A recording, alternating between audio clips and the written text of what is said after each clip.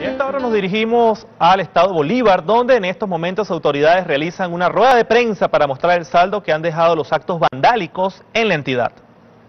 Lo celebran por, los medios masivos. Ellos estaban celebrando que habían corrido a la guardia. Yo creo que deben darle gracias a Dios. Creo que deben darle gracias a Dios que la guardia retrocedió y no pasó lo que podía haber pasado. Yo quisiera que por favor pasaran el video, si lo tienen a tiro, el video del capitán. Del capitán Alexander. Ahí está. Ahí está la situación. Ya iba herido Sin ropa, la explosión. sin ropa, sin pantalones, sin interiores, sin nada, porque le volaron prácticamente, prácticamente media, medio muslo.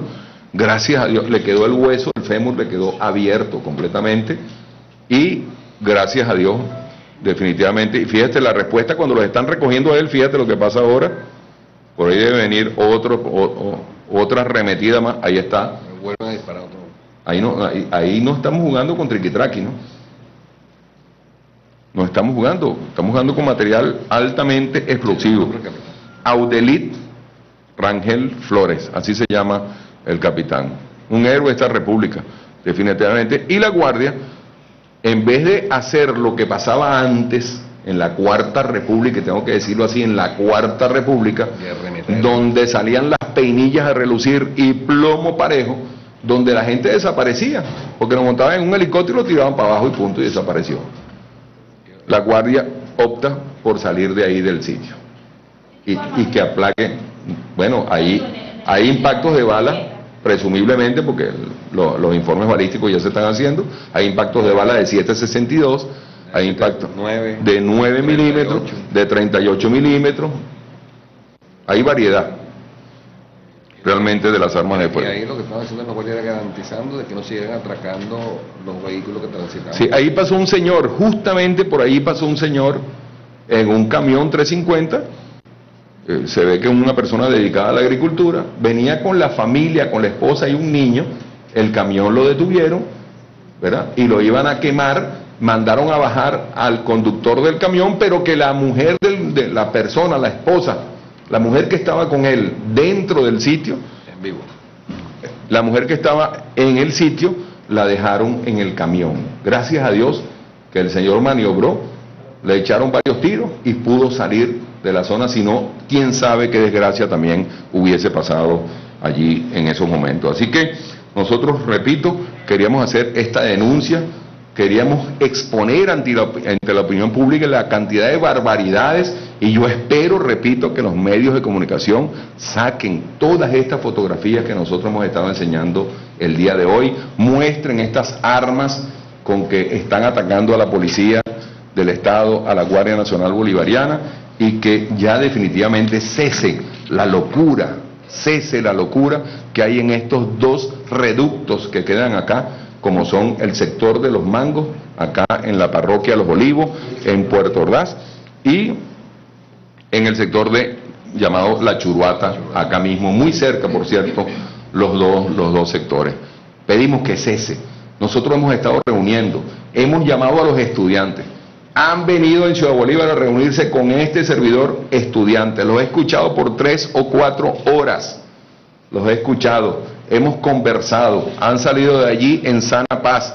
Sin embargo, repito, nosotros estamos ya seguros que estos individuos no son precisamente estudiantes, sino por el contrario, son mercenarios completamente preparados y no tenemos otra forma de catalogarlo que no sea de terroristas y van a asumir su responsabilidad como terroristas ante la justicia, ante la justicia venezolana. Por eso queríamos enseñar esta fotografía, ya ustedes la pueden, pueden ver ahí lo que esto puede significar, además de la gente que está colgada en los postes, en los pocos semáforos que quedan en pie, la gente que está colgada allí este, de los postes, que no, no es gente, por supuesto, son muñecos, pero para un niño de 4, 5 años, de 6 años que sale para la escuela y ve aquella locura, imagínense el terror, el miedo que le puede causar, la sensación de miedo que le puede causar a un niño esta situación.